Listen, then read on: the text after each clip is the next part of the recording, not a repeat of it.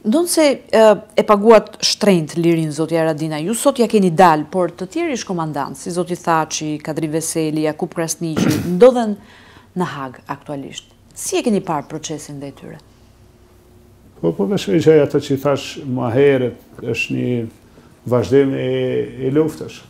Në një mënyrë apo një tjetër, vazhdon ajo përpjekja që Palët luftojnë për për interesat e veta, Serbia nuk e ndal luftën, Rusia, palë tjera vazhdojnë me punu kundër shqiptarëve, jo vetëm në këtë aspekt, po në aspektin e anëve ligjore, si rasti i gjykatës, po unë besoj në plot Fusha tjera vazhdojnë me na luftu.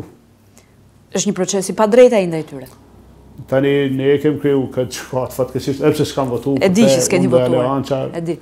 Mirëpo ajo që i kisha prit prej gjykatës është që të jetë fair ndaj të akuzume në prezumimin e pafajsisë që procedurat të jenë fair në kohë.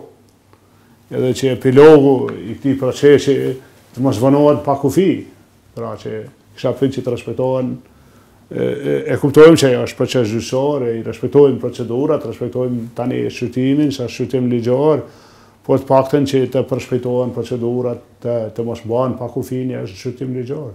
Ju thatë që edhe ky proces është pjesë e luftës, le të themi. Pra lufta në një farë mënyre nuk ka mbaruar dhe ka shumë që thonë që Kosova duhet të armatoset. A mendoni që është ky momenti?